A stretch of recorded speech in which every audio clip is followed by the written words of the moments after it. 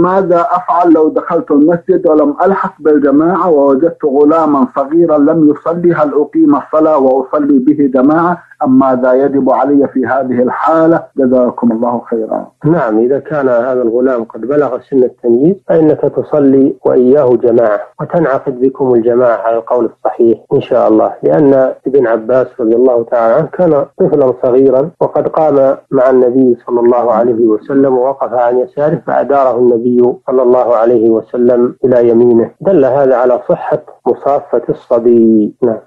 جزاكم الله خيرا وأحسن إليكم.